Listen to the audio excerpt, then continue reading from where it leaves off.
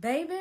So a few months back, we did a video on um, bad moms and bad dads, how toxic moms and dads really are, and how a lot of kids grew up in such toxic environments that they left as soon as they could get out because they wanted to make sure they removed themselves from that toxic part. And now that the parents are older, they are coming back to those same kids that they were being toxic with and telling them, oh, you gotta take care of me because I'm your mama, I'm your daddy. That's what you gotta do. And when I was doing the video, I said, see, that's the problem. People feel the audacity.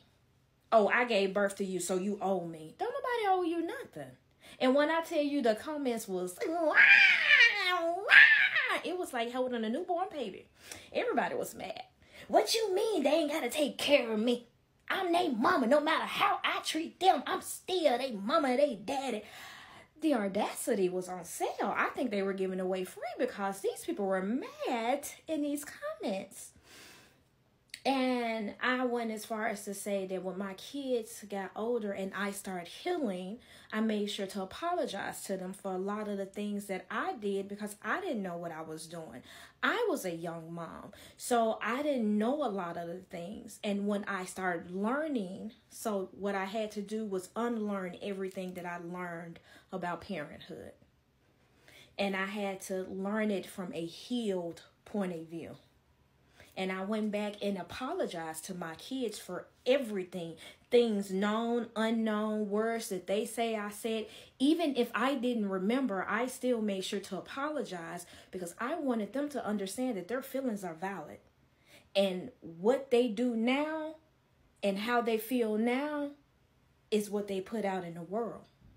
So I wanted to make sure that they can start healing to understand I'm learning. And I apologize because I didn't know. I didn't give a damn that my kids are 23 and 24. I apologize for when they were little, one, two, three. And even the things that my kids say I did and I don't remember, I still apologize for it because that means it affected them in some kind of way. And my job as a parent is to make sure that I never affect them where it hurts them and breaks them and damn their lives.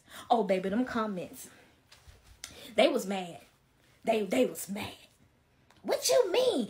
A nursing home? They gonna take care of me, and you gonna be the main one knocking on the nursing home door.